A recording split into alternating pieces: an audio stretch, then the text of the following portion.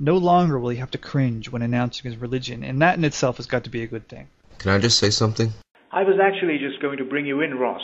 As president of the Australian Atheist Association, what do you say to all this?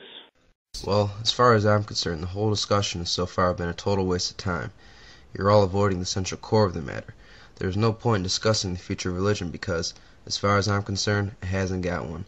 Our society simply doesn't need religion anymore. Let's face it, we are no longer hunters and gatherers or medieval peasants. We are educated, sophisticated human beings who live and work in a technologically advanced society. We no longer need superstitions to get us through the day. So I put it to you, and I put it to everyone here tonight. Isn't it about time we face reality rather than go on creating new deceptions for ourselves? Elaborate with you, Ross. I think I know what you mean, but there may be some in the audience who don't. It is simply this. If there is one thing which is true in this world, it is that no one will ever come to know the truth, and I mean no one. It is simply impossible for it to ever happen.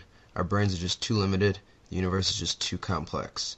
Surely it is obvious by now especially in this day and age of postmodernism, that knowledge is processual and is shaped by historical circumstances. No one can ever escape their cultural background, so why the need to propagate religious myths at all? Why not simply point out to people the obviousness of reality? Um, that's easy to answer. Uh, some people will find the position that everything is uncertain to be unsatisfactory and will want to seek a better answer. Well, let them. Who cares? Doesn't bother me. They'll just go around in circles. Tell me, Ross, are you absolutely certain that everything is uncertain? No, of course not. Well, then, what if the truth should in fact turn out to be knowable? Shouldn't society take those few extra precautions to dissuade the stubborn few who seek it? Why? What's it to me if they want to seek it? Well, it may encourage others to do the same, and if we do nothing to prevent it, the world could be overrun with sages. I agree.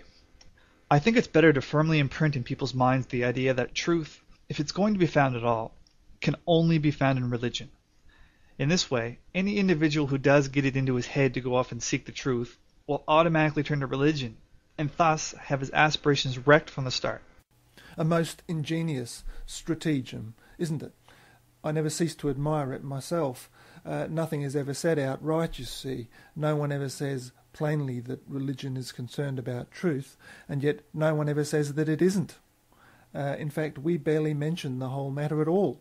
Uh, we just perhaps hint at it now and again, or we mix it up with words like God, or love, or community, without ever spelling out the connections between them. It's sublime, isn't it? Oh, indeed. Uh, in fact, religion is very much like a woman. Uh, this may seem to you a strange thing for me to say, but really uh, it is a most useful way of looking at it.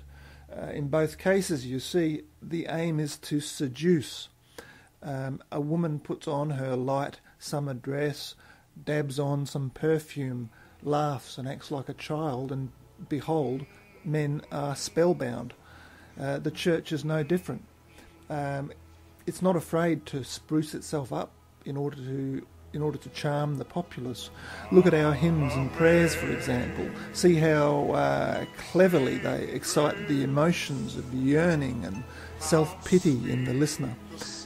In everything it does, the church seems to hint at some kind of uh, mysterious reality or point to some kind of profound and glorious truth.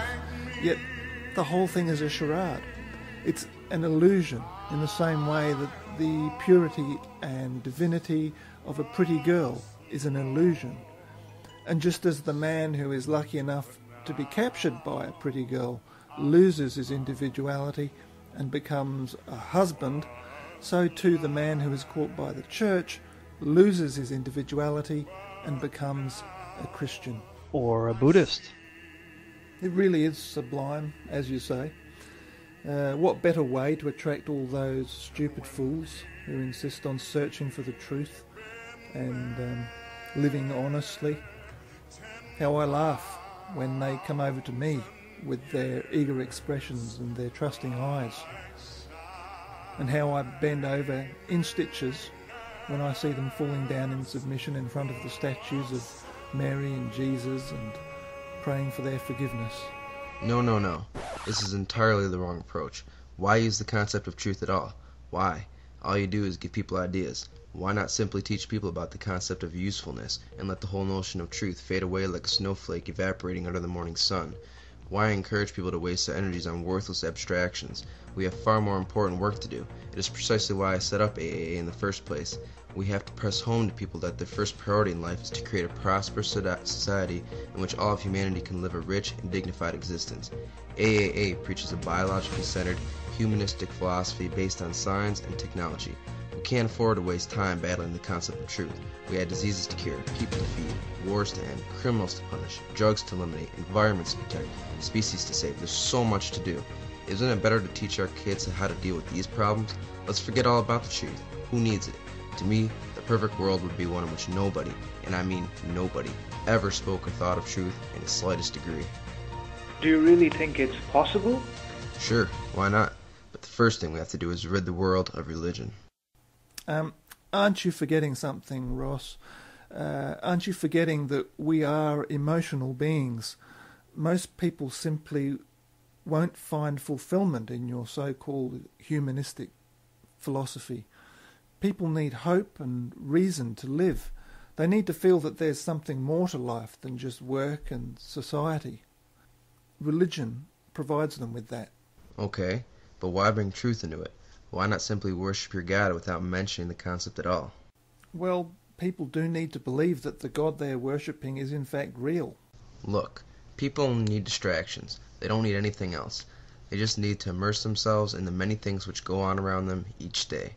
In fact, I sincerely believe that it's possible for us to go through a whole lifetime just pursuing distractions, nothing else, without ever experiencing the need to examine the question of one's existence or other such absurdities. Let's get people involved in sex and saving the environment and running a successful business and so on. Why complicate matters? Oh well, religion is an excellent distraction. I'm afraid we're fast running out of time, and we'll have to wrap up what has been a fascinating discussion. But before we do, let me give you my view of the matter. I'm of the opinion that the truth is knowable. In other words, I believe that people can fully understand the ultimate reality. And how do I know this? Because I know the truth. I know it and I can vouch from personal experience that it is the most evil thing in the world and as such must be thoroughly eliminated from the face of the earth. As you can see, I am strongly anti-truth. I believe that anyone who decides to have a relationship with the truth immediately destroys everything of human value. Family, love, friendship, pleasure, marriage, hobbies, contentment, satisfaction, and all the other things that are essential to a rich and fulfilling life. It is far more destructive, I tell you, than drug addiction. This is why I personally have dedicated my life to the complete destruction of it, and why I have set up an organization like the Society for the Elimination of All Truth. It's my belief that we as a species can no longer afford to simply rely on myth and superstition to see us through. We cannot afford to rely on the unconscious element of chance. It is time for us to develop consciously the tools to destroy the philosophic life once and for all. Consciously develop the tools to destroy the philosophic life? Heaven forbid. What is this? This is precisely why we don't want the truth.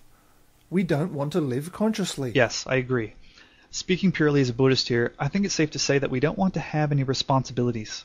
We don't want to have to work things out for ourselves. We just want to meditate. And we just want to submit to God, who lives forever and ever. Amen. I hate to say it, but I concur with these two. What's the point of being ignorant if one has to be all conscious about it? Well, the problem is that if we don't want to consciously weed out the truth, if we are just going to rely on the traditional means of religion and academic philosophy and science to maintain our ignorance, then we run the very real risk of truth exploding all around us. Oh, come on. Surely you don't believe that. The risk is small, I grant you, but still it's there. The thing, you see, is that the traditional methods of ridding thought are unconscious methods, and so in effect we are relying on chance to protect us. But that's precisely the point. Yes, well, I don't feel safe relying on chance. I'd rather take matters into my own hands and be sure of destroying truth completely. Although this may impinge on my happiness somewhat, in the sense that I have to do some thinking, I nevertheless feel more secure than if I didn't do it. After all, I have my children to consider. Hmm. Yes, I see your point. I don't necessarily agree with it, but I do see it. My concern is, though, that by consciously trying to eliminate the truth, you're in grave danger of becoming just like them, you know, like a sage. I just hope you're extremely careful. Relax, I do not advocate full consciousness. Only enough to see of the truth, that's all. And I'm afraid we'll have to finish up there. Thanks to all our guests and thanks to all of you for showing up. I hope each of you gained some benefit from the discussion and hopefully we'll be back here with another one in a couple of months' time.